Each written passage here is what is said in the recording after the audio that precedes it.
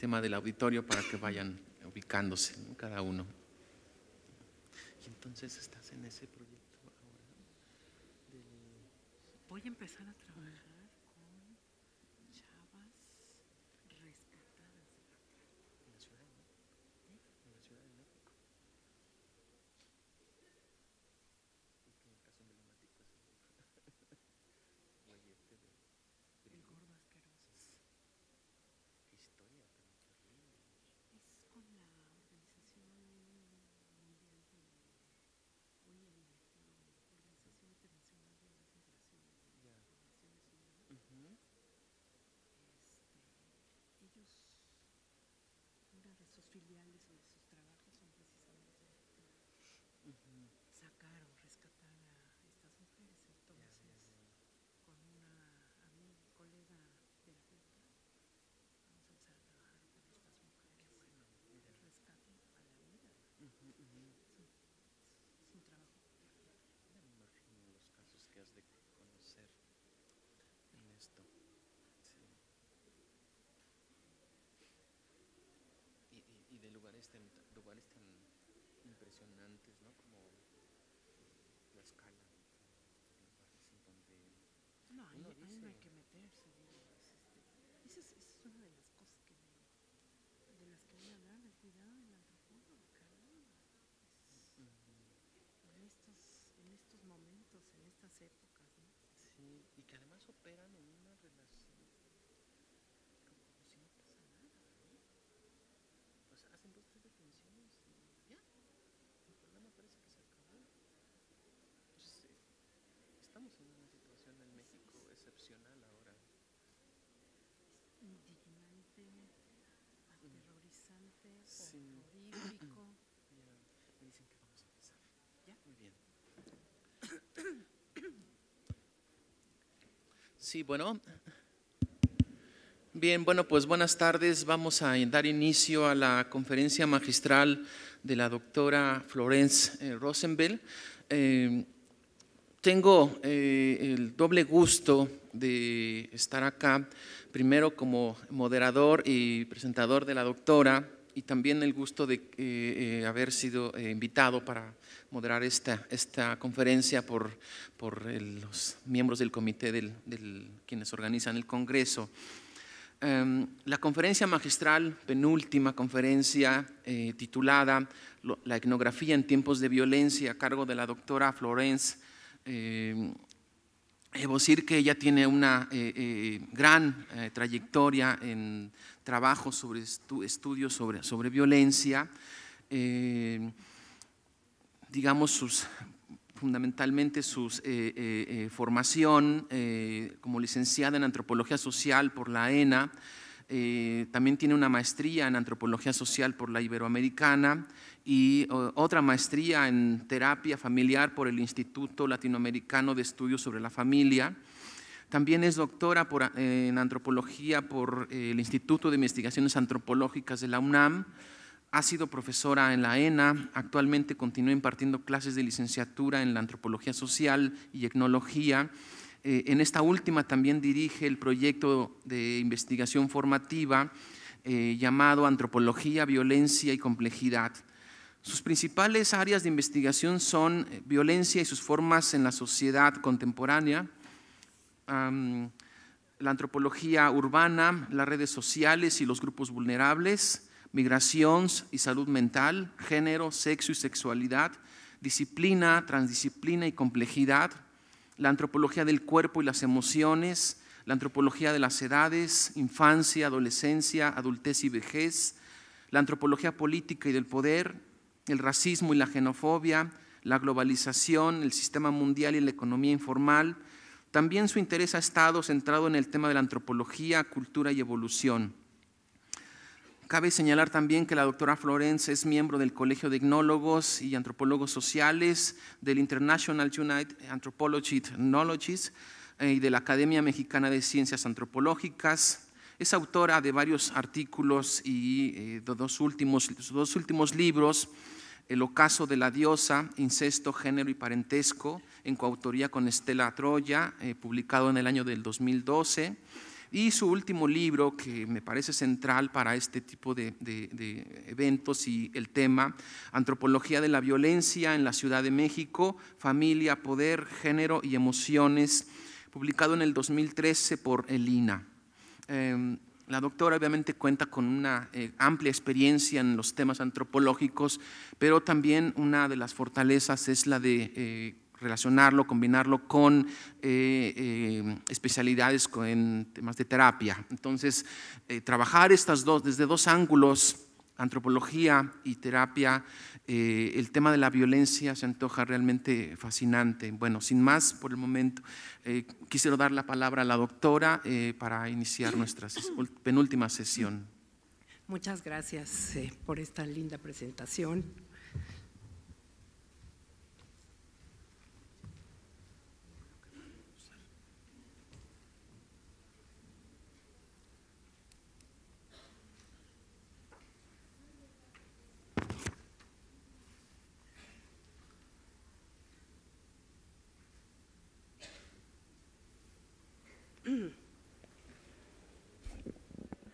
Antes de, comenzar esta conferencia, deseo agradecer la invitación a este congreso, a la Coordinación Nacional de Antropología y en particular al maestro Diego Prieto.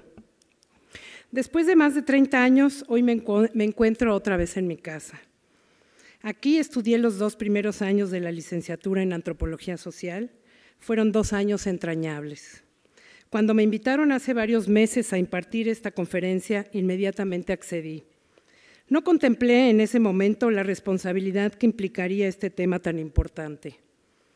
Así que comenzaré primero con varias reflexiones acerca de lo que es la violencia, para después continuar con algunos de los exponentes más importantes en la literatura de la antropología que tocaron el tema de la violencia para luego adentrarme y analizar las dificultades, obstáculos y problemáticas a las que hoy nos enfrentamos quienes investigamos y hacemos etnografía en este México en el que se están viviendo distintos tipos de violencias que corroen el tejido social, no obstante, al mismo tiempo, como veremos, también encontramos nuevas posibilidades y oportunidades para investigar y elaborar distintas etnografías. Veamos un poco de historia de la antropología de la violencia, es decir, qué han escrito y pensado los colegas acerca de la violencia y la guerra a lo largo de poco más de un siglo desde el surgimiento de la disciplina antropológica. La antropología surge a finales del siglo XIX y cuando el mundo de la ciencia y el saber se están fragmentando en las disciplinas que hoy conocemos. A la vieja pregunta, ¿qué es el hombre?, se le fueron agregando otras. ¿Cómo es que ha evolucionado a pesar de las vicisitudes encontradas a lo largo de la historia de Homo? ¿A qué, ¿Qué es la cultura? ¿Qué significan los restos físicos de Homo y sus descendientes? ¿Cómo los ordenamos en la escala evolutiva? ¿Somos la cereza del pastel o el fin de la evolución? ¿Qué motivos tuvieron los humanos para la construcción y en ocasiones abandono de muchas de las ciudades? Y finalmente, ¿es acaso la historia de nuestra especie la historia de la violencia? Desde los inicios de, este nuevo saber, la preocupación por el salvaje, el primitivo y el bárbaro, entre comilladas, ya va a implicar una violencia en la mirada y en la práctica. Perdón. Algunos les observan con soberbia y niegan a ese otro. Este otro es asimismo víctima de la violenta colonización occidental y víctima de la paz blanca que alguna vez bien dijo Robert Jolan en 1970. El ente antropológico nació con el vidrio ahumado porque durante muchos años sirvió únicamente para justificar el colonialismo, la violencia, la conquista y la dominación. Muchas voces se levantaron en contra de esa antropología justificadora. Años después, la literatura antropológica sigue denunciando los viejos y nuevos genocidios y etnocidios. Así pues, que la antropología nace polémica y aún sigue en debate. Algunas veces me pregunté, ¿por qué la violencia no ha sido un tema natural de los antropólogos? Una posible respuesta es porque hay un problema de raíz en nuestra cultura, el no nombrar, el velar las cosas, el esconder, el mistificar. Antes de proseguir, veamos ahora la diferencia entre violencia y agresión. La agresividad representa la capacidad de, respuesta del organismo para defenderse de los peligros potenciales procedentes del, del exterior. Desde esta perspectiva, la agresividad es una respuesta adaptativa y forma parte de las estrategias de afrontamiento de que disponen los seres humanos y los animales no humanos. En cambio, la violencia tiene un carácter destructivo sobre las personas y los objetos y supone una profunda problemática social. La violencia se apoya en los mecanismos neurobiológicos de la respuesta agresiva. Todas las personas son agresivas, pero no tienen afortunadamente por qué ser necesariamente violentas. Podemos decir que en general la violencia busca hacer daño.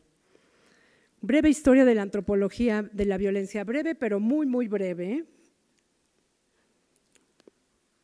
Muchas disciplinas se han ocupado por el tema de la violencia. Me interesa exponer, sin pretender agotar lo que se ha escrito acerca del tema, qué es lo que, hoy, qué es lo que ha dicho la antropología en su más amplia acepción, es decir, cómo la disciplina, como la disciplina que mira al hombre para poder explicarlo, comprenderlo, interpretarlo, en sus comportamientos, pensamientos, sentimientos y acciones.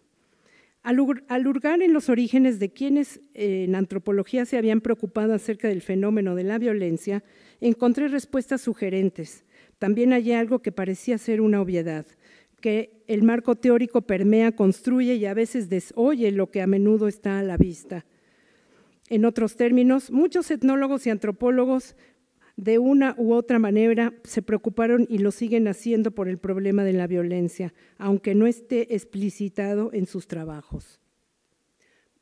Bronislav Malinowski criticó las formas y el impacto del colonialismo. Cito, el deber del antropólogo es ser justo y un intérprete veraz de los nativos, registrar que los europeos exterminaron a todos los isleños, que han expropiado la mayor parte del patrimonio de las razas salvajes, introdujeron la esclavitud de una especial forma cruel y perniciosa. Cierro cita. Tuvo una postura anticolonialista y crítica, aunque no se, aunque no se crea. Argumentó apasionadamente en contra del antropólogo como neutral y como observador objetivo. Únicamente como observador de la historia de la violencia colonial y el sufrimiento de personas y culturas, en las que los antropólogos estuvieron presentes. Estas incursiones teóricas fueron criticadas por sus colegas como desviaciones irresponsables de un anciano. Sépase que Malinowski murió cuando solo tenía 58 años. En su lugar, seguía proliferándose la antropología de los salvajes, porque era políticamente correcto no involucrarse con las poblaciones estudiadas. En su célebre y poco conocido artículo titulado Un análisis antropológico de la guerra, Malinowski será el primero que abrirá esta problemática en el escenario antropológico. Dice, la antropología ha hecho más daño que bien al introducir la confusión con mensajes optimistas del pasado primitivo, pintando a los ancestros de la humanidad viviendo en una edad de oro de paz, de perpetua paz. Y aún es más confusa la enseñanza de aquellos que sostienen que la guerra es una herencia esencial del hombre un destino psicológico o biológico del que nunca se podrá liberar. Termina cita. Por su parte, Margaret Mead piensa que la guerra es una invención, que es un fenómeno múltiple representado en diferentes culturas. Muchas realidades definen la construcción cultural de la guerra. Hay una realidad política, económica y militar. La guerra es una forma de vida para soldados, comandantes, oficiales y también negocio de la industria armamentista. También comenta que hay pueblos que aún hoy no la conocen, entre estos los esquimales son tal vez el modelo más notable, pero los lepchas de Sikkim en la India representan otro ejemplo similar. Falta en ellos la idea de la guerra, y esta idea es tan esencial para realizar la guerra como el alfabeto o el silabario lo es para escribir. La idea de la guerra de un grupo organizado contra otro grupo para mutilar, herir, matar, está ausente. Y, si esta, y, esa idea, eh, y sin esa idea las pasiones podrían estallar, pero no habría guerra.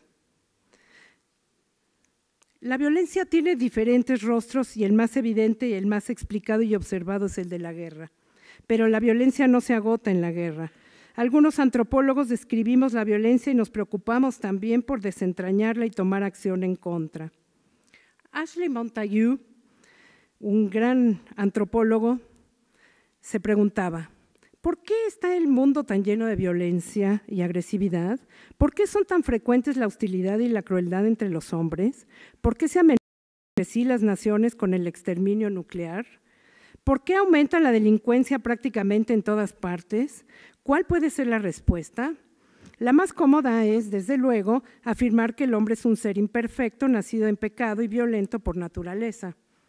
Además, esta explicación, decía el autor, es muy satisfactoria para casi todo el mundo porque quien nace así predestinado no puede culpársele por, su forma de comportarse. En otras palabras, Montague sostiene que la característica más destacada de la especie humana es su educabilidad, por el hecho de que todo lo que sabe y hace como ser humano ha de aprenderlo de, de otros seres humanos, postura que comparto nos dice que no va a ser la violencia, sino la cooperación la que va a, constituir las condiciones estrictamente necesarias para la supervivencia del grupo. Los individuos violentos no hubieran prosperado en sociedades pequeñas de cazadores-recolectores. Jonathan Haas plantea que existe la evidencia de que la guerra fue poco importante antes de 10.000 años. Sostiene que la misma eh, eh, que la guerra endémica fue más la excepción que la regla hasta la aparición de las sociedades con, estado entre 4 y 2000 años antes de Cristo en los primeros centros urbanos. Brian Ferguson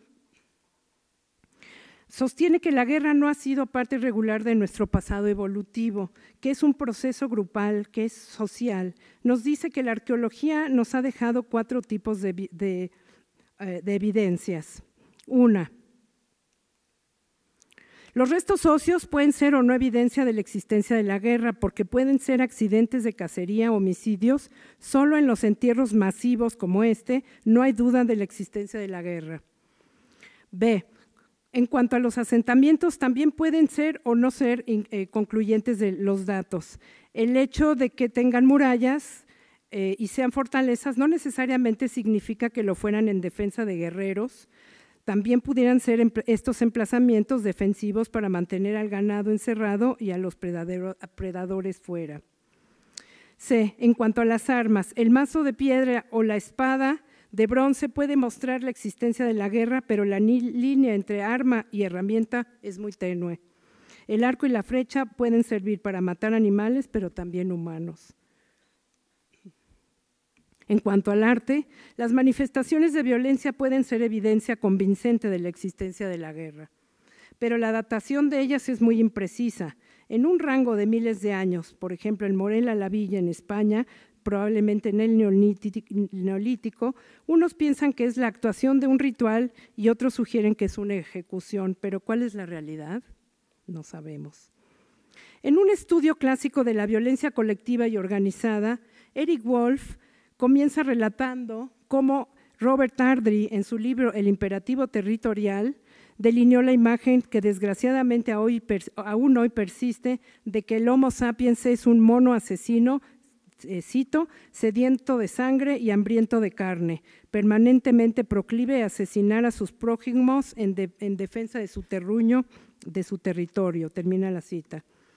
Esta mirada es jovesiana, es decir, el hombre es el lobo del hombre, el hombre es violento por naturaleza y tiene instintos asesinos. Cuando hace el amor, eh, también lo hace para reproducirse. Wolf afirma que en efecto hay una biología de la violencia, pero los mensajes que liberan, inhiben o dirigen totalmente el comportamiento humano no están biológicamente implantados, son culturalmente aprendidos en el curso de la interacción y en la comunicación humanas. Napoleón Chagnon, que es un eh, antropólogo muy, uno de los antropólogos más polémicos del siglo XX, dice que desde una postura sociobiológica dibuja un escenario terriblemente violento. Plantea que la venganza de sangre es una de las causas más comunes de la violencia y de la guerra en las sociedades tribales. La teoría de la violencia tribal muestra cómo el homicidio, la venganza, las obligaciones de parentesco y la guerra están unidos a las variables reproductivas. Chagnon ha sido criticado por haber reafirmado la, la, hipótesis de la naturaleza humana violenta diseñada por la evolución para la maximización del éxito reproductivo, todo ello con escasa evidencia empírica. Otra postura similar de la violencia es la del antropólogo Michael Guillieri, quien asegura que el ser humano es un fenómeno biológico, no un ser completo, completo maleable como piensan los científicos sociales y que gran parte de nuestro comportamiento está influido por la genética, sin embargo, en ocasiones el ambiente también puede influir. También piensa que los varones están diseñados biológicamente para actividades más agresivas y físicamente demandantes. Son más violentos por la testosterona que producen y son más violentos que las mujeres y esto es por la biología. Esa información, dice, se encuentra en nuestro DNA. La violencia constituye conductas diseñadas e-, evolutivamente como estrategias reproductivas tanto en los hombres como en las mujeres. Dice, la especie humana surgió como todavía de orígenes violentos y sostiene que la violación en masa es una victoria reproductiva y no es en modo alguno exclusiva de los seres humanos. Finalmente considera que junto con la violación y el asesinato, la guerra es también una estrategia masculina para la reproducción. Sigamos el recorrido. Nancy, eh, para Nancy Shepard Hughes, cito, la antropología todavía continúa su implacable y ahistórica persecución de lo exótico con una precisión literaria y filosófica, documentando los sistemas simbólicos, estructuras de parentesco y documentando los remanentes salvajes en el vacío de las ficciones etnográficas presentes. Termina cita. Muchas etnografías clásicas nunca reportaron la existencia de violencia, porque, repito, la violencia no era materia ni de observación, menos de su análisis y explicación. Por lo tanto, la contribución de la antropología a la comprensión de todos los tipos de violencia, violación y abuso sexual, todo tipo de homicidios, infanticidios, feminicidios, regicidios, homofobias, violencias de género en la pareja, violencia doméstica entre la familia, eh, eh, hasta el terrorismo político de Estado, el racismo, la xenofobia, las guerras sucias, los etnocidios y los genocidios a gran escala, son extremadamente limitadas. La historia de la complicidad de la antropología con o sin intención es visible. Por ejemplo, cuando algunos antropólogos eh, culturales y físicos proveyeron de herramientas conceptuales para el holocausto judío, por ejemplo, o también para justificar el apartheid sudafricano. El colmo fue la reificación del último indio Yahi, llamado Ishi, como un espectáculo público vivo en el Museo de Antropología de la Universidad de California y la preservación de su cerebro como objeto de curiosidad científica. Otro caso de violencia ha sido la exhibición del cuerpo desnudo de Sartige Bartman, la también llamada Otentota de Venus de Sudáfrica, vendida en 1810 y mostrándola en los circos de, Europa Occidental. Fue preservada hasta 1976 como curiosidad sexual en el Museo del, Hombre de París. Finalmente, el 2 de agosto del 2002, sus restos fueron enterrados en Hanki, Sudáfrica, después de una larga lucha de los nativos para su repatriación. Existen muchos ejemplos de antropólogos que han observado, denunciado las injusticias y las diferentes formas de dominación, explotación en las comunidades, regiones o ciudades en las que han trabajado. También existen aquellas mujeres antropólogas violadas por hombres de los lugares donde llegaron a hacer trabajo de campo y que callaron por la vergüenza y muchas veces por culpa que, la culpa que ellos les, ellos les produce. Al observar las diferentes formas de miseria y sufrimiento social crónico, se da uno cuenta de que entre las más frecuentes y ubicuas son las imágenes de violencia, sufrimiento, pobreza y muerte, y se convierte y se, hace más invisible. La gente tiene la enorme capacidad de absorber lo espantoso, lo terrible e impresionante y seguir adelante con sus vidas. Nancy Shepard Hughes es una de las antropólogas que más ha escrito y teorizado sobre la violencia. Si uno observa sus trabajos, todos versan de una u otra forma acerca de la violencia. Ha escrito la vida de las madres y los niños en las favelas de Brasil, mostrando cómo ya no lloran cuando se mueren sus hijos antes de los cinco años por desnutrición. falta de higiene y de medicamentos, en, en otras palabras, el azote de la pobreza. En, en, otra publicación, la misma antropóloga documenta el crecimiento del turismo de trasplante y el tráfico global de cuerpos, deseos y necesidades humanas. El trasplante de órganos tiene lugar hoy en día en un espacio transnacional en el que circulan cirujanos, pacientes, donantes, vendedores e intermediarios que siguen los nuevos caminos del capital y de la tecnología. Actualmente es fundadora y directora del Organs Watch en la Universidad de, de Berkeley. Muchas son las explicaciones acerca de por qué se infringe y se daña al otro o a los demás. Otra mirada de la violencia es de la de Alexander Hinton, eh, quien es director del Centro para el, Estudio del, Genocidio y Derechos Humanos, quien analiza las razones por las cuales la gente mató en el, en el genocidio de Camboya, en el que se calcula en dos millones las personas muertas bajo el régimen del Khmer Rouge. Seguimos el recorrido. En la experiencia de la guerra vivida por la antropóloga Caroline Nordstrom en Mozambique y en Sri Lanka, afirma que lo que allí encontró, además de una violencia inaudita, fue creatividad y hasta esperanza. Se interesó en explorar las diferencias y similitudes en las respuestas regionales a la violencia sociopolítica y aquellas características de la guerra compartidas en la geografía y la cultura en el mundo contemporáneo.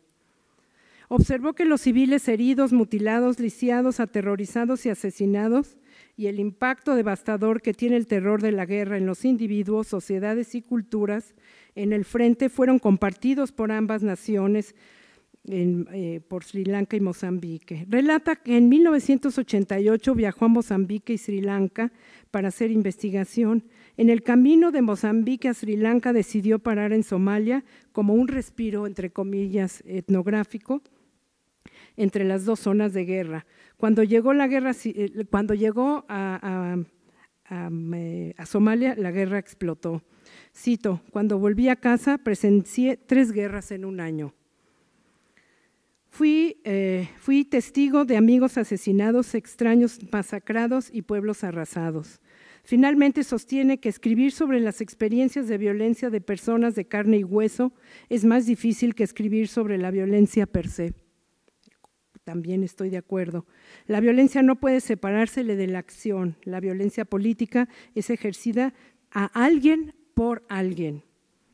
Quien ha contribuido en nuestra disciplina a desentrañar la violencia es sin duda Miriam Jimeno, antropóloga colombiana, quien plantea que los tipos de violencia que se han incrementado durante los últimos años afectan la conciencia social, principalmente por producir un sentido de fragmentación social. Es la percepción de vivir en una sociedad con una variedad de fuerzas criminales y tipos en las que la gente se siente impotente e indefensa para combatirla. Esta preocupación, esta percepción es parte de una cadena crítica de aprendizaje en la que se comparten experiencias y aprendizajes culturalmente compartidos concernientes a la intersección de la violencia doméstica y sirven como referencia para orientar la vida pública.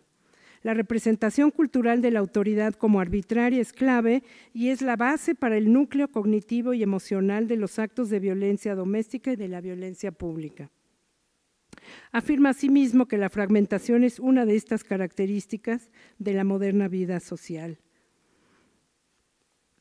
El primer antropólogo en México que sin duda eh, realizó las primeras investigaciones importantes fue sin duda Santiago Genovés, quien gran parte de su vida se preocupó por develar la cuestión de la violencia en Expedición a la Violencia es un libro que vino a constituirse en una ampliación de la Declaración sobre la Violencia, la cual fue adoptada por la UNESCO y por más de 100 sociedades científicas en el mundo. Otro antropólogo iniciador en México de la antropología del comportamiento es Javier Lizarraga, quien sostiene que aderezada de mil formas, la violencia combina todo tipo de ingredientes en las, en las cantidades y proporciones adecuadas para cada ocasión.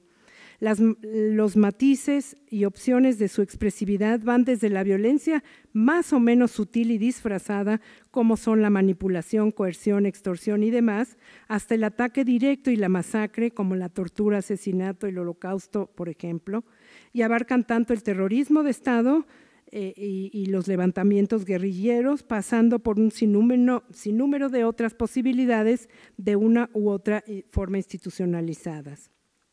Postula dos, ideas que me parecen relevantes. Que la violencia solo es pensable en términos de relaciones, de la relación que guardan el agente ejecutor y la víctima receptor con la contextualidad y la relación diferencial que guardan las características del, contexto eh, con uno y otro. Y dos, que ninguna violencia deja de ser social y en la medida en que en el orden social nos adiestramos y domamos o domesticamos unos a otros, toda violencia, por más extendida que esté y por más tumultuaria que resulte, necesariamente tiene tintes de doméstica. Toda violencia es social y doméstica. No puede faltar aquí el trabajo que desde sus inicios como antropóloga en los años 70 ha dedicado Elena Azaola a comprender la violencia con, temas como cárceles, maltrato y abuso sexual a menores, prostitución infantil, policía, derechos humanos, instituciones tutelares, la trata de personas, etcétera, etcétera. En uno de sus últimos artículos, en el 2012, plantea tres argumentos para explicar los actuales niveles de violencia que vivimos en México.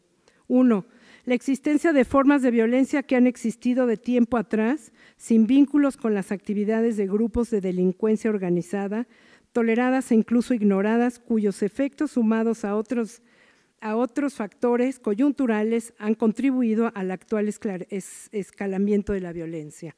Dos, el debilitamiento y la descomposición de las instituciones de seguridad y procuración de justicia. Y tres, la insuficiencia de las políticas sociales y económicas para reducir las desigualdades y promover la inclusión de amplios sectores, así como una mayor y mejor articulación e integración de estas políticas en torno a fines comunes con, las políticas de seguridad.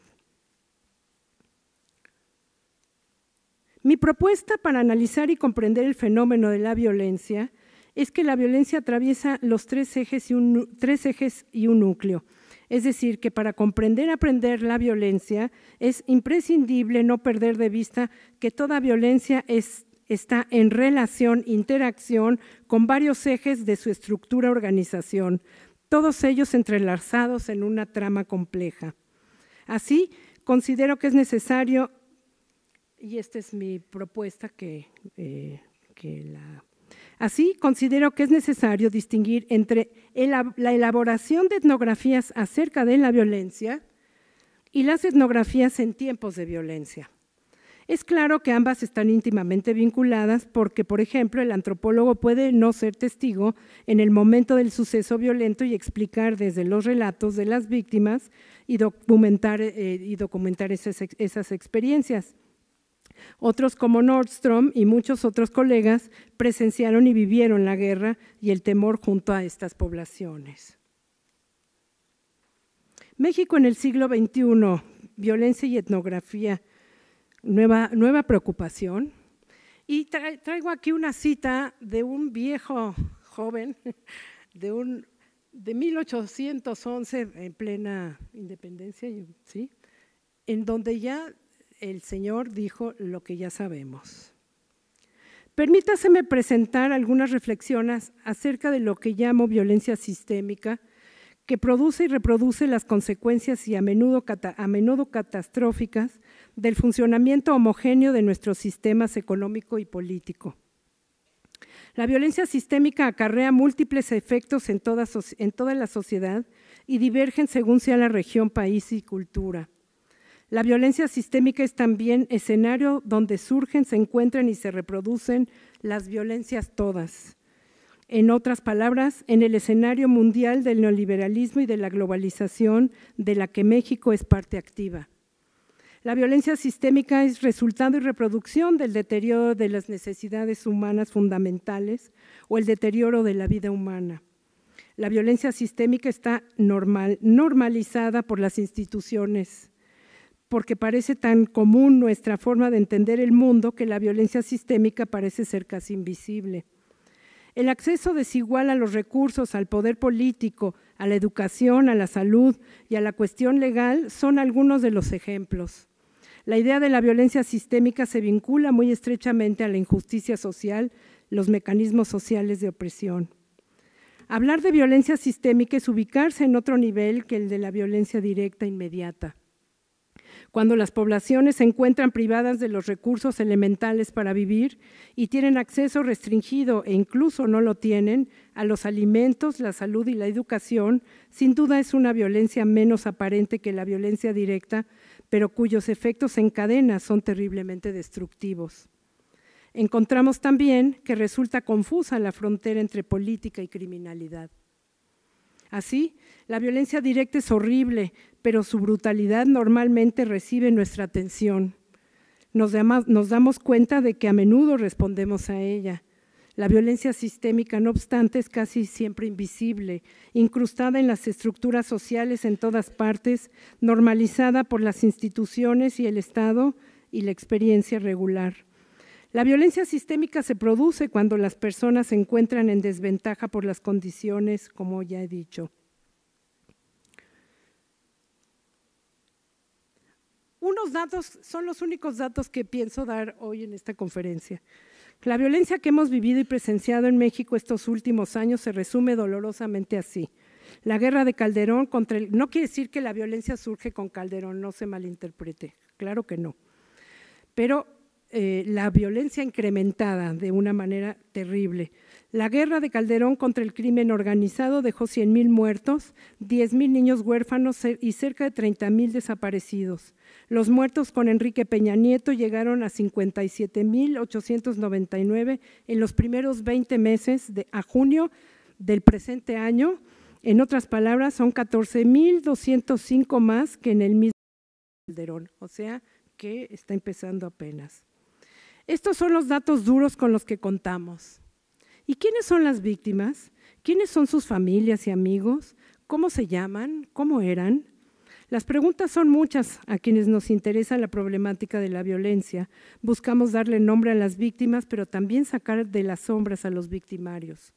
Los antropólogos que estudiamos y trabajamos en y con la violencia no somos ni jueces ni parte, somos estudiosos de realidades que siempre duelen, podemos identificarnos más con un grupo particular que con otro, no obstante su comprensión total es necesaria. Debemos entender tanto a la víctima como al perpetrador, ambos en situaciones y contextos variopintos. Así, el antropólogo como escriba documenta fielmente lo que la gente nos narra.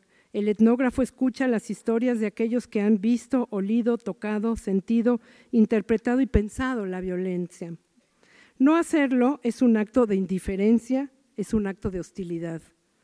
Sé bien que ello es difícil. Escuchar horas y horas de relatos de sufrimiento nos toca en nuestra vida, en nuestra vida toda. Escribirlo y registrarlo es un arduo trabajo donde el recuerdo de estas experiencias narradas regresan a nuestra memoria. La persona del antropólogo, peligros y cuidados. La primera vez que me enfrenté a la violencia como antropóloga fue cuando trabajé en una ciudad perdida en esta ciudad. Esto fue en los años 79, 1979-1980, en la que tuve la, experiencias en, la que, en las que llegaba la banda de los Panchitos a aventar bombas Molotov porque estaban en contra de la banda de la ciudad perdida en la que yo estaba. La ingenuidad, la ingenuidad deliciosa que experimenté mientras estuve ahí me hace comprender hoy los peligros a los que me enfrenté. No me, no me sucedió nada porque afortunadamente me había ganado la confianza de los habitantes, lo cual me impidió participar y, lo cual me permitió participar y trabajar sin el menor peligro. Por un lado, los jóvenes arriesgan sin miedo lo que viene, con ingenuidad y con confianza. Por otro, no miran los peligros por su corta experiencia, lo que los coloca en riesgos que a veces son positivos, pero que a menudo pueden devenir en dolorosas vivencias. Quienes estamos en la docencia en este México violento de hoy tenemos y hoy más que nunca la responsabilidad de formar nuevos antropólogos, antropólogos que debemos cuidar y que debemos enseñarles a cuidarse, antropólogos que a su vez se tienen que arriesgar, antropólogos que tienen que saber que hoy no se, no se puede hacer etnografía sin tener en cuenta lo que está pasando en nuestro país y los riesgos a los que se pueden enfrentar en el campo.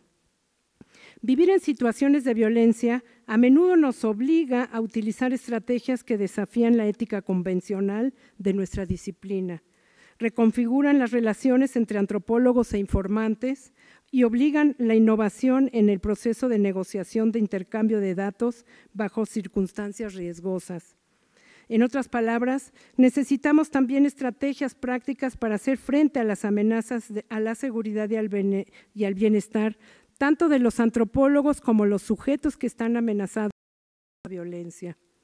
Aunque algunos antropólogos han escrito cuidadosamente acerca de sus experiencias en conflictos, eh, con conflictos en el campo, poco se habla de cómo la realidad de la violencia vivida afecta en la teoría antropológica su método, su ética y su escritura. A medida que seguimos investigando en regiones cada vez más hostiles y peligrosas, la posibilidad real de nuestra victimización en el campo representa un reto no solo para los aspectos prácticos de la seguridad personal, sino también para los métodos etnográficos y la ética que utilizamos para comprender las culturas en las que se ven minadas por el malestar, la inestabilidad, el miedo y a menudo la violencia y la, pobreza. También necesitamos tener estrategias actualizadas que aborden las preocupaciones de los antropólogos que realizan investigaciones en campos peligrosos, aquellos sitios donde las relaciones sociales y las realidades culturales se modifican críticamente por la penetración del miedo, del terror, la amenaza de la fuerza o la aplicación regular de la violencia y donde los enfoques, métodos y la ética de trabajo de campo antropológico son a veces insuficientes, irrelevantes, inaplicables, imprudentes o simplemente ingenuas. Los etnógrafos en campos peligrosos son extremadamente vulnerables a peligros tales como robos, asaltos, violaciones, asesinatos, secuestros, arrestos en el campo, a estar en guerras o disturbios o haber presenciado momentos de conflicto entre facciones u hostilidades agudas dentro del grupo o en la comunidad. El problema entonces no solo es determinar cómo los antropólogos están en peligro en el campo, sino más bien qué se puede hacer para minimizar los riesgos que conllevan el trabajo de campo peligroso. Y tal vez eh, igual, de, igual de importante, cómo deben las propias experiencias del antropólogo y las reacciones de otros ante la violencia integrarlos en nuestras etnografías sin ponerlos en riesgo. Si vamos a trabajar en campos peligrosos, tenemos que empezar con un cambio fundamental en la forma que la metodología no sea rígida para la investigación. Más bien hay que plantearla con plasticidad y con una práctica maleable, es decir, debe depender de un nivel extremo de flexibilidad de investigación por parte del etnógrafo, quien no siempre puede esperar trabajar en condiciones de seguridad. Así, la etnografía se reduce a una especie de cálculo que involucra a tres variables dependientes. Uno, el tipo de información que se busca. Dos, cómo se adquirió y, cuáles, y tres, cuáles son los riesgos para el antropólogo. Es común y muy seductor y erróneo partir de dos supuestos en el trabajo y contextos de violencia. Uno, que la fórmula para evaluar el riesgo en la adquisición de datos es una herramienta neutral y objetiva de la investigación y dos, que es posible extraer datos no contaminados de un medio social contaminado por la violencia. Acerca de la flexibilidad en el campo, tomemos el ejemplo del antropólogo Allen Feldman, quien trabajó en Irlanda del Norte en los años álgidos del conflicto le llevó a abandonar las nociones clásicas de la observación participante, evitando la residencia en las cercanías de sus informantes y a vivir con ellos porque podría, ah, podría haber ah, sido visto como cómplice de los rebeldes por la policía y por el ejército. Tomó otras precauciones metodológicas como la utilización de espacios neutros para las entrevistas, restringiendo su movilidad entre, los entre espacios de confrontación con la policía y el ejército. Otro ejemplo que voy a citar de una presente aquí, eh, de para el caso mexicano, muestra cómo Alía Barrientos, aquí presente, para investigar acerca del miedo y la militarización en la guerra contra el narcotráfico en Tampico, Tamaulipas, una de las ciudades más peligrosas de México y del mundo, se fue a trabajar como mesera para recopilar datos para finalmente recibirse este mismo año. Por lo anterior, sabemos que el trabajo en los campos peligrosos implica una capacidad de negociar todos los días en espectros de encuentros sociales con una serie diversa de individuos, algunos de los cuales pueden ser de mucha ayuda y otros también pueden ser peligrosos. Otro factor importante para nuestra protección es que hay que aprender a escuchar los buenos consejos y recomendaciones de la población local para decidir qué conversaciones y silencios son importantes, cuál información es peligrosa para sus vidas e integridad física y cuáles preguntas son riesgosas para no hacerlas y cuáles son los patrones de comportamiento importantes a seguir para la protección de todos. Para enfatizar lo anterior, cito a Roland Barthes, que decía, escuchar la voz inaugura la relación con el otro. La voz por la cual reconocemos a, los otros nos indica su forma de ser, su alegría o su dolor, su condición, lleva una imagen de su cuerpo. Termina. Porque acompañar a personas ajenas que nos comparten su mundo personal de sufrimiento, supervivencia, coraje y confusión, y observar las lágrimas de luto, sus iras por la traición y sus temores, es un verdadero privilegio para un antropólogo. Así, contar una historia a veces sirve para evocar la memoria de los muertos y desaparecidos y reafirmar las tradiciones de sobrevivientes que la violencia ha destruido. En consecuencia, Aquellos con los que trabajamos en campos peligrosos tienen derecho a negociar por igual con los etnógrafos sobre, el tema, sobre temas acerca de la exposición o no de los datos en las etnografías. El reconocimiento de este derecho por la antropología es parte integral del continuo proyecto de la descolonización de la disciplina que sabemos que muchos colegas ya lo practican. Sabemos también que una cuestión recurrente con la elaboración de etnografías en campos, en campos peligrosos es la dificultad de los antropólogos para considerar su propio rol como actores en el drama de la violencia. Por ello me pregunto, ¿debe incluir el antropólogo sus sentimientos y emociones íntimas y sus opiniones y respuestas a la violencia y el terror cuando dicha información podría arrojar luz sobre las circunstancias en las que fue adquirida? Esto nos lleva indefectiblemente al terreno de la ética. Como etnógrafos debemos divorciarnos de, nuestro histórico supuesto de la inmunidad y como he dicho siempre, no existe una antropología pasteurizada en la que salimos del campo igual que como entramos. El trabajo de campo etnográfico e, es el medio principal para la comprensión de la violencia y el terror en un grupo, localidad o situación dada. Es importante saber que la cultura no está compuesta de unidades compartimentadas separables entre sí y por lo tanto donde la violencia forma parte de las relaciones sociales, es imposible comprender y manejar datos, considerarlos como puros. La violencia también es cultura y tenemos que continuar la tarea etnográfica de desmitificar su naturaleza y hemos de teorizarla junto a otros fenómenos sociales. En esto radica la oportunidad para que la etnografía de la violencia y en tiempos violentos influya significativamente en el curso de la teoría antropológica para continuar demostrando que la violencia no es separable del parentesco, del mercado, de la lengua y del mundo. Aquí vemos la importancia de considerar los temores y ansiedades del antropólogo. Asimismo, el etnógrafo necesita demostrar cómo la violencia lo modifica a él y a él mismo a su vez, cómo se modifican sus propias relaciones con quienes se vincula en el campo y también cómo se modifican las relaciones dentro de la comunidad local o en el grupo con quien se esté trabajando. La representación teórica con la que vamos al campo debe contemplar las voces del poder impuesto, del poder negociado y la violencia sufrida por los sujetos. Vistas de manera aislada, cada voz cuenta una historia diferente, aunque todas sean componentes esenciales de la historia completa.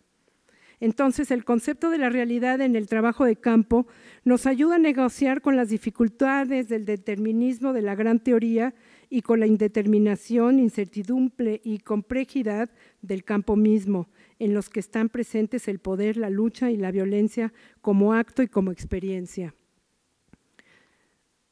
La etnografía debe de ser capaz de llevar a los sujetos y comunidades que sufren a los, a los que no han estado ahí. Pero también debe ser capaz de sacarlos de la sombra y de iluminar no solo esos lugares y gentes, sino también hacer visibles las razones del poder y las ganancias que generan estas violencias.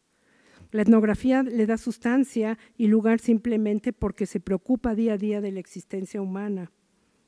La antropología se desarrolló como una disciplina arraigada en el trabajo de campo y como tal nombra nombres y mapea lugares. Pero la guerra y la violencia también está, eh, eh, pero la guerra y la violencia cambian esta, esta ecuación. El conocimiento local es crucial para la comprensión, sin embargo, citar a informantes locales puede significar una sentencia de muerte para ellos.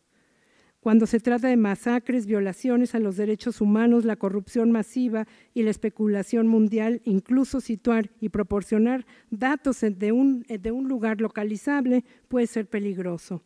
La responsabilidad académica y ética descansa en la protección de las fuentes y no en su revelación. El trabajo de campo, como nos dicen Nordstrom y Robben, requiere de dos posturas. La óntica de la violencia, es decir, la experiencia vivida de la violencia y la epistemología de la violencia, o las formas de conocer y reflexionar sobre la misma violencia.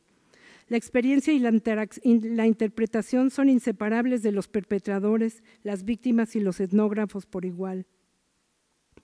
Debemos de tener muy claro que le podemos dar voz a las víctimas de la violencia, pero nunca podremos restaurar sus vidas. Esto también es parte de nuestra implicación emocional y compromiso al estar escribiendo la etnografía en el que volvemos a plasmar el dolor de los demás, parafraseando a de Sontag, a la, a la vez el nuestro propio.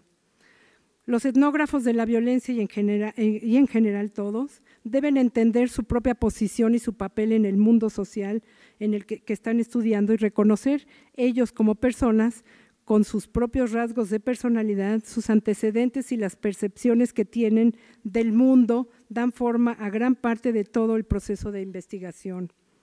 Ser reflexivo también implica explorar la práctica emocional de hacer investigación. Esto es particularmente cierto cuando se hace investigación de la violencia y en situaciones o espacios violentos, porque hablar de violencia es equivalente de emoción y sentimiento en los informantes y en el propio investigador. Por tanto, la reflexividad y las emociones son ambos instrumentos analíticos. Ser testigo de la violencia a menudo pues, puede producir pesadillas, insomnio, agotamiento, depresión, frustración, ira, culpa y disgusto, todos estos sentimientos y emociones son parte de la experiencia de la investigación. A veces nos sentimos incapaces de compartir nuestras emociones con los demás porque ellos no estuvieron o no entienden por qué no estuvieron ahí. Eh, para hacer frente a la emotividad de la violencia y la carga física en el cuerpo, varios investigadores discuten la necesidad de tomar distancia del, ámbito de la investigación en, en violencia cuando ésta nos rebasa. El tema de la emoción se ha excluido sistemáticamente en la mayoría del trabajo académico, en muchas de las investigaciones que exploran la violencia y dejan de lado la subjetividad, quedándose con las eh, distinciones tradicionales que fomentan la división entre razón y emoción, lo que permite sugerir que hay serias consecuencias teóricas y epistemológicas en ignorar los muchos papeles que juegan las emociones en nuestras investigaciones en la escritura de las etnografías y en nuestra vida misma.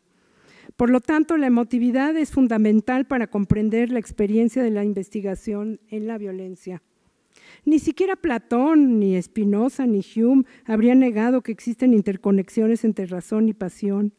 Tampoco los estoicos, los marxistas, los fenomenólogos o los pragmáticos representarían, y los complejos representarían la búsqueda del conocimiento como una búsqueda desinteresada, desconectada de las preocupaciones eh, cotidianas, emocionales y sensibles.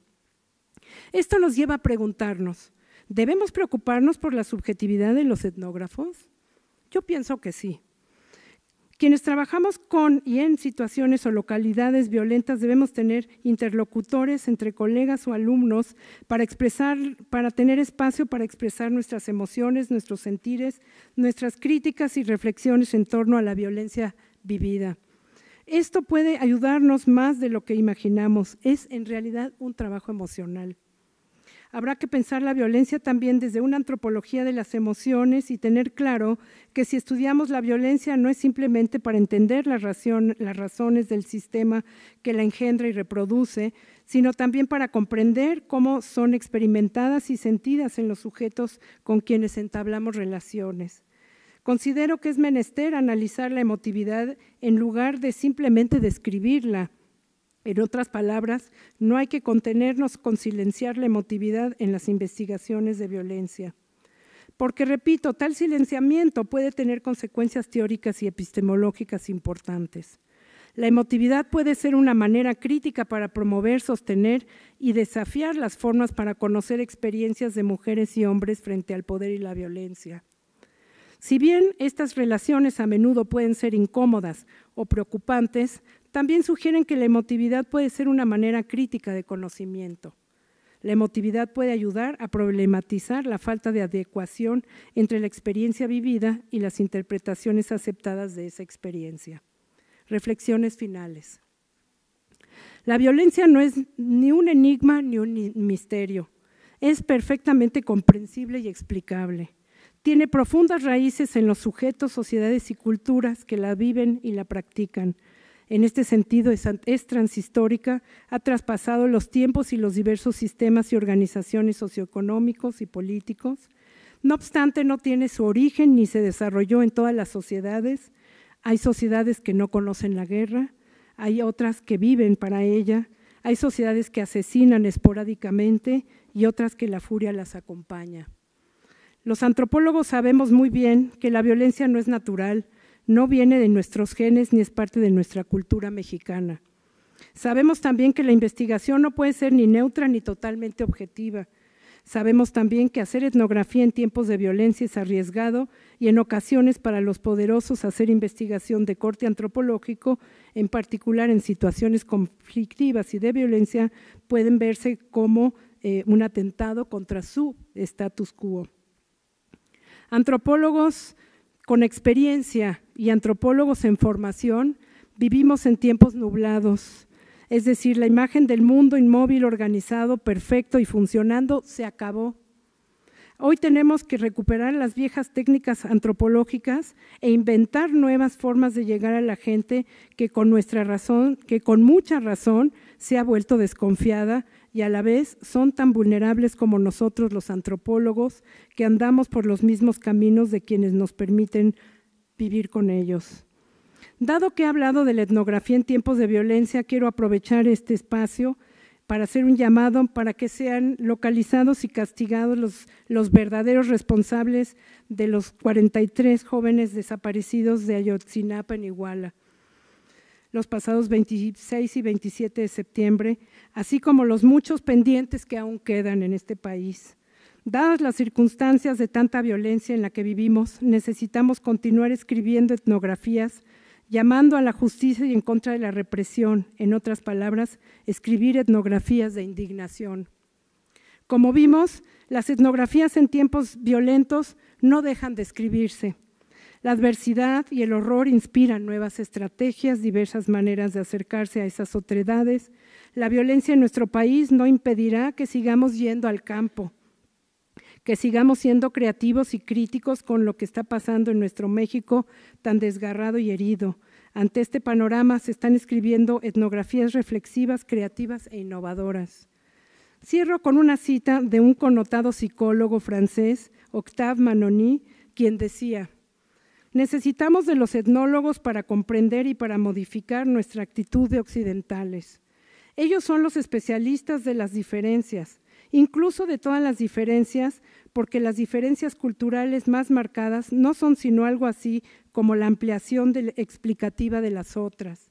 Ellos son los encargados de contarnos historias verdaderas que demuestran que se podría cambiar la vida. Muchas gracias.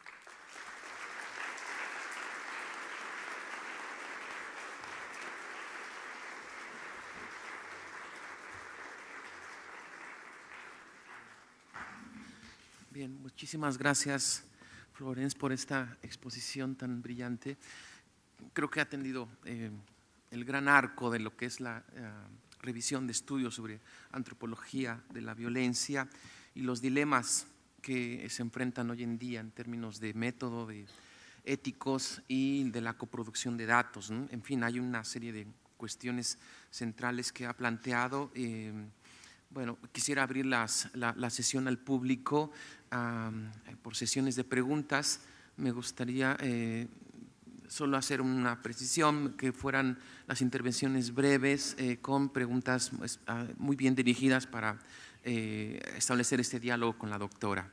Tenemos acá eh, la primera intervención, si nos ayudan con el micrófono. Sí. Gracias. Buenas tardes. Tengo dos preguntas.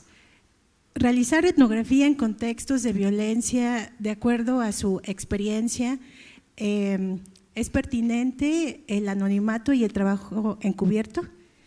Y la segunda, eh, en esta perspectiva que usted plantea para el análisis de la violencia, eh, se encuentra también la esfera de las emociones. ¿Integra esto también el análisis de los procesos de resiliencia en algunos casos concretos? Gracias. Teníamos a un lado...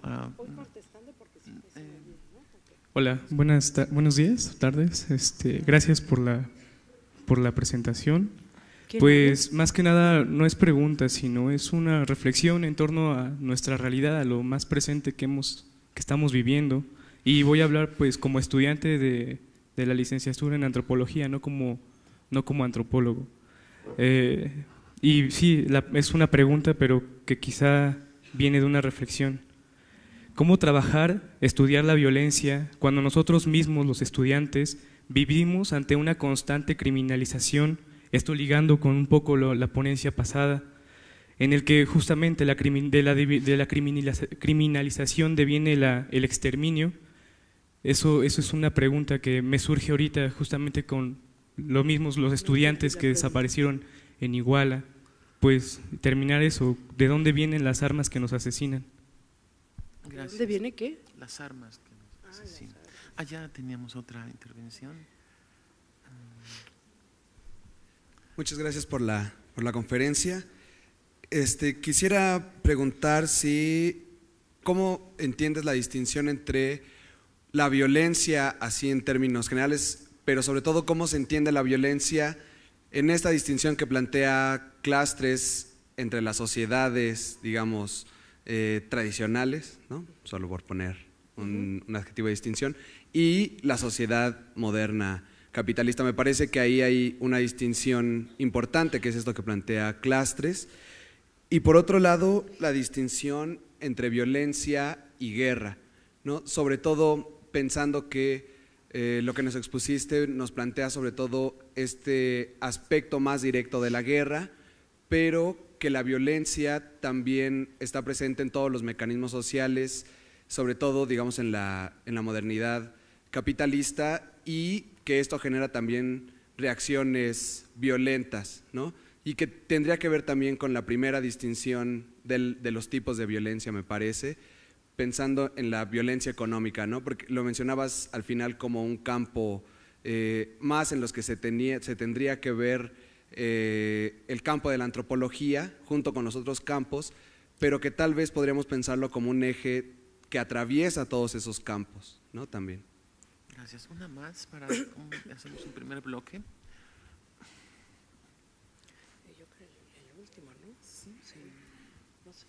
Bueno, este, felicitar a, la maestra Florence. Es un placer siempre escuchar y aprender tanto, tanto de ti, de Javier, de, la otra este, maestra que se me va ahorita su nombre, Estela Troya. Este, yo quería decirte que pues más o menos mi línea de investigación ha sido eh, en parte, parte de la violencia y bueno, eh, también me encuentro en esta parte de la inversión emocional que a mí siempre me ha preocupado, la parte médica, la parte este, de todo lo que vivimos nosotros como antropólogos, a todo lo que te referiste en este momento, porque pues sí es, este, es difícil, es muy complejo en algún momento eh, tener este distanciamiento de la parte subjetiva de lo que nuestros informantes en ocasiones nos, este, nos están planteando, ¿no?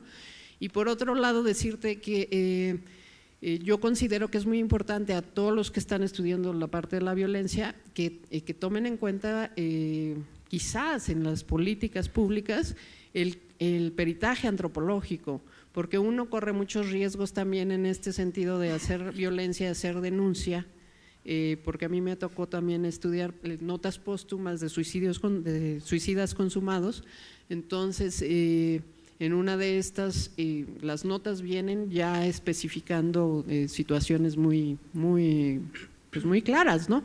Entonces, eh, a veces que son suicidios, suicidios, entre comillas, cuando son realmente homicidios y que se involucran varias instituciones, por lo cual tiene uno que permanecer forzosamente, en, pues, generalmente en el anonimato, ¿no? Por cuestiones que creo que todos conocemos, los que hemos tenido cierta este, bueno, que hemos vivido una cierta represión, ¿no? Entonces, eh, yo creo que es considerable el que tomen el papel del peritaje antropológico en esta, en esta parte. ¿Okay? Gracias. Eh, Gracias. Comenzamos el primer bloque de, de, respuestas y hacemos una siguiente ronda. ¿Les parece, Florence? Para no saturar a Florence con… Espero eh, contestar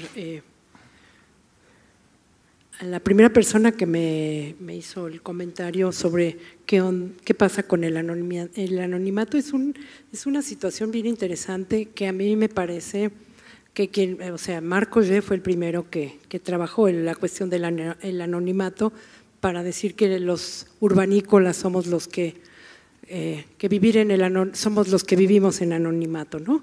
Em, yo he dicho siempre en mis planteamientos pensé que hay dos posibilidades de mirar al anonimato. puede ser muy negativo cuando se está pensando en soledad, por ejemplo, en una sensación real de soledad, porque uno puede estar muy, muy juntito con muchas personas, pero tener una sensación muy particular de soledad, ¿no? Y el anonimato como, como salvación, ¿no? El anonimato, que es muy rico poder salir a, cuando uno se va de viaje, ¿no? Este, y nadie te conoce, es delicioso, ¿no? O sea, es una parte muy, muy rica de no, no tener que estar eh, pensando en estas otredades, porque es, un trabajo muy importante el, el, mundo de lo social, ¿no? Entonces, eh, puede mirarse parte, eh, si se piensa el anonimato en términos de soledad, sí puede ser este, violento en ese sentido, pero no necesariamente. En cuanto a la resiliencia, es algo importantísimo que los, este, psicólogos han trabajado bastante sobre este concepto y creo que tenemos los eh, antropólogos que reflexionar acerca de resiliencias, ¿no? Porque, eh, como les decía yo, la antropóloga, una de mis fans, eh, antropóloga Caroline Nordstrom, este, no le pone el nombre de resiliencia, pero ella está hablando de las formas esperanzadoras y cuáles son estas fortalezas que tiene esta gente en las guerras y después de las guerras, ¿no? Y esto en términos actuales se llama resiliencia. Entonces sí creo que es importantísimo que empiecen a hacerse investigaciones en función de la discusión del concepto de resiliencia en, eh, la antropología. Acerca de dónde vienen las armas, pues este, hay un mercado muy claro, ¿no? Eh, en, eh, en noviembre del 2013 Fui, eh, porque estoy también trabajando en un proyecto eh, que se llama el Proyecto Camina, eh, como terapeuta, que estamos dando apoyo a, gente refugiada, desplazada, que salieron en el, entre el 2009 y 2012 de Ciudad Juárez y se refugiaron en El Paso y están pidiendo asilo político y estamos trabajando vía Skype terapéuticamente con estas personas, ¿sí? Y ha sido eh, una experiencia fantástica para mí, pero lo, más, lo, que quiero traer aquí en términos de las armas es que de regreso nos revisaron, de ida para entrar nos revisaron hasta los calzones, ¿no? Y de regreso no hubo nadie en la aduana, o sea, podíamos haber pasado lo que quisiéramos para entrar a Ciudad Juárez, ¿no? Y eh, pues ahí está la, respuesta acerca de la, de la proveniencia de las armas.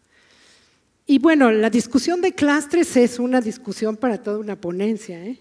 este, porque clastres eh, se pelea, bueno, eh, el gran eh, Morigo de, Morisgo de Lie y clastres se odiaban profundamente, este, y bueno, es toda una discusión porque clastres afirma que las sociedades selvícolas, o las llamadas, o las llamadas sociedades primitivas o tribales viven para la guerra, ¿no? Y ahí hay toda una discusión bien interesante que, que no se ha llegado a, a, discutir de, de, forma importante y creo que es un pendiente también. Tu pregunta es muy acuciosa, ¿sí?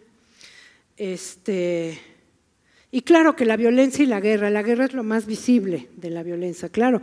No, si empiezo a hablar de, la, de las violencias no acabo nunca, ¿no? Es decir, las cité en, un párrafito por ahí, ¿no?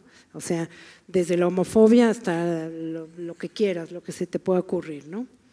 Y, y bueno, si hay alguna que faltó, alguna pregunta que faltó responder. Este, bueno, buenas tardes, Florence. Acá estoy. Ok. Este, muchas gracias por tu ponencia. Y eh, más bien yo quisiera dar una especie de comentario y eh, que iba más o menos eh, de acuerdo con lo que Rodolfo decía, que bueno, las, las violencias, ¿no? Este, no solamente son, o más bien están como en otro ámbito, es lo que acabas de decir, y en este, en este sentido, pues también los despojos a los pueblos indígenas de sus recursos naturales son, son una suerte de, de, violencia. Y también estoy de acuerdo contigo en cuanto dices que hay que generar este, otro tipo de trabajos etnográficos. ¿No, ¿Se escucha? Trabajos Sí, etnográficos. sí, sí. Este, una suerte de indignación, pero también este, como protesta y eh, como denuncia. Ah, claro, pues la indignación contiene todo eso. Gracias. Una siguiente intervención. Está.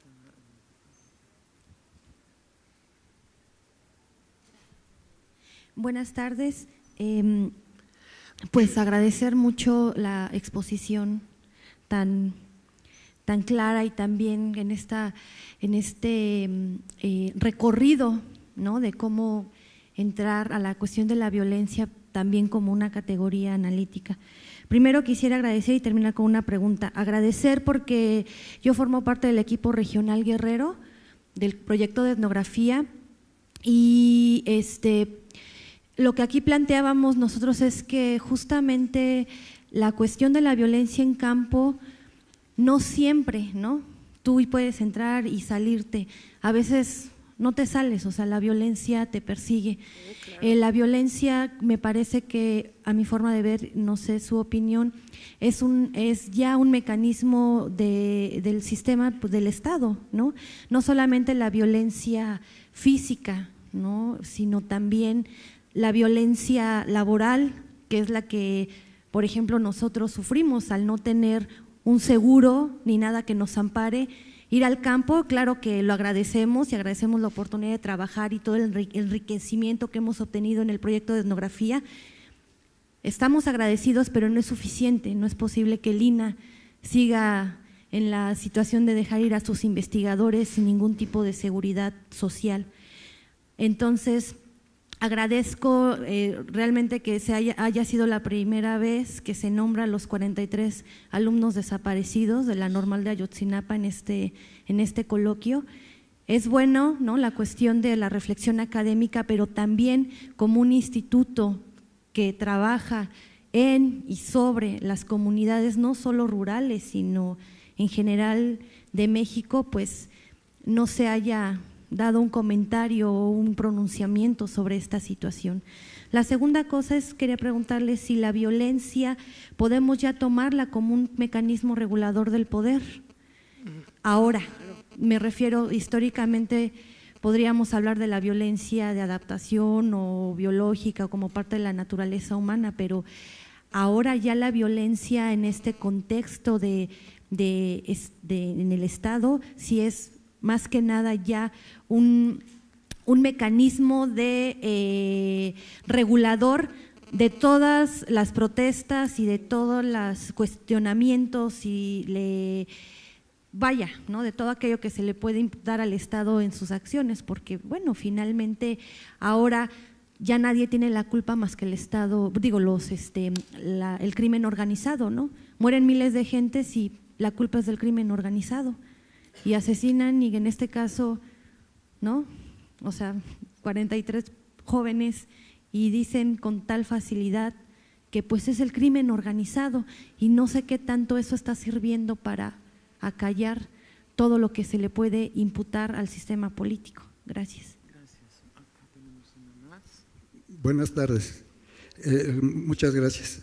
Mire, este, hablando de la cuestión de la violencia política, este, eh, por allá por donde vivo, este, para recuperar eh, los municipios de Naucalpan, Tlanepantla, Cotitlán y Cotitlán Izcalli, nada más sutilmente nos dejaban más de 15 días sin agua. Y, obviamente pues, nadie vive sin agua. Entonces, y lograron mágicamente revertir la cuestión de la votación a favor de los que están ahorita. ¿no? Entonces, ahí hay otro tipo de, violencia, así muy sutil, te dejo sin agua, pero finalmente logro lo que quiero. ¿no? Y eh, me queda una, una, pregunta, este, se puede dar el caso, pero me llama la atención que en vísperas de elecciones estatales y, de los diputados, todo esto, el PRD como que se haga un harakiri, ¿no? Y, desaparecer a, esos muchachos y, matarlos allá en, el estado guerrero. Eh, eh, ahí, yo me quedo así como que con mucha duda de si realmente es eh, ese partido, el, que está ahorita ahí gobernando en el estado guerrero, quien, quien sea el autor intelectual de, esos homicidios. Gracias. Gracias. Una más, tenemos una y, cerramos para que Lorenz tenga tiempo de eh, hacer sus comentarios. Sí, buenas tardes. Eh, muchas felicidades por la ponencia y quisiera dos preguntas muy concretas. Cuando mencionó sobre la violencia directa que nos llama tanto la atención, yo quiero preguntarle por qué esta violencia nos llama tanto la atención, no, no necesariamente como un este, científico en una disciplina concreta, sino más como personas o como humanos. Eh, quisiera que abundara un poquito en eso. Eh, eh, me pregunto, si esa atención que nos atrae tanto a la violencia directa no se podría relacionar con este debate sobre si es este, biológico o no, natural, etcétera. Y la segunda es sobre la violencia invisible que mencionaba. Eh, y esta, esta pregunta es respecto a, a, cómo nosotros como antropólogos podríamos mostrar esta violencia indirecta que usted la, mencionó, que es invisible, a la sociedad y cuando me refiero a la sociedad, a, las personas que lo sufren. Por ejemplo, en, comunidades hay este, lugares en donde eh, llegas con tu mapa y les dices, usted sabe dónde es este lado, dónde es este lado, y ellos no saben. A mí me parece que este, este ejemplo que acabo de poner entraría muy bien en esta violencia eh, que, lleva a desventaja a la población y que es una violencia que se muestra como invisible. Gracias. Gracias, eh, bueno, mm, en cuanto a la cuestión de Ayotzinapa, Diego, Diego habló el primer día en la inauguración en contra de, esto, ¿no? O sea, que soy la segunda. Okay. Eh, claro que el Estado todos los estados, el más buena onda, incluye, como diría Weber, es el dueño de, la violencia, de los medios y instrumentos de la violencia. Cómo se utilizan, ahí está el cuide del asunto, ¿no? Este, necesariamente los estados son estados porque son violentos. Ningún estado, por lo menos eh, se supone que el Costa Rica es un estado que no tiene ejército, pero quién sabe si la policía la hace de ejército, ¿no? Este, entonces el poder está implícito en, necesariamente en los estados, ¿no? Y ahí viene otra discusión a la que no voy a entrar, ¿no? Eh, y claro, eh, aquí se habla del narco, el, narcotrap, el narcotráfico y narco, es necropolítica, sí, es la necropolítica. Eh, no me recuerdo exacto, es un cuate francés que habla de la necropolítica y Achille, exacto. Y bueno, estamos viviendo este, este, esta faceta, esta fase de la necropolítica totalmente, es, evidente, ¿no? Este, ya cuando eh, un gran eh, psiquiatra decía eh, que la violencia está en función del el vínculo de la violencia y cuando, cuando ya no se puede negociar o no se puede conciliar, la violencia es una de las formas de salida. ¿Sí?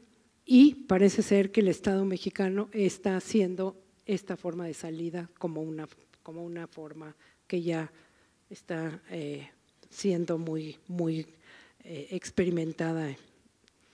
Y claro, la violencia física es la más, la más visible, es la más fuerte, pero hay otras violencias que, que son peores que la violencia física. ¿sí? Por ejemplo, la tortura es, es una de las violencias más espantosas que pueden haber, ¿no? Este, hay otras violencias muy, muy duras que son las emocionales, las simbólicas, las este, psicológicas, que pueden romper a las personas y de eso se trata, ¿no? O sea, ninguna violencia física viene separada de ninguna otra violencia, ¿eh? Eso es otra cosa que hay que aclarar, ¿no? Todas las violencias vienen como en paquetito. Y claro, eh, la violencia invisible es la violencia sistémica, ¿no? es la violencia del sistema neoliberal y la globalización que, de la cual México es parte bien, bien activa, ¿no? últimamente más. ¿no? Ok, y bueno, no sé si... Bien, bueno, pues creo que en atención al tiempo damos por concluida la, la conferencia de la doctora y bueno, pues brindémosles un aplauso por una excelente ponencia.